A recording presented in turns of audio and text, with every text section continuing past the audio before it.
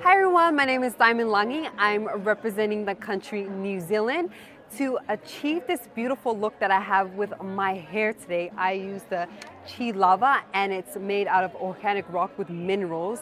And this is why I was getting this glamorous shine also including with this spray, the Shine Infusion.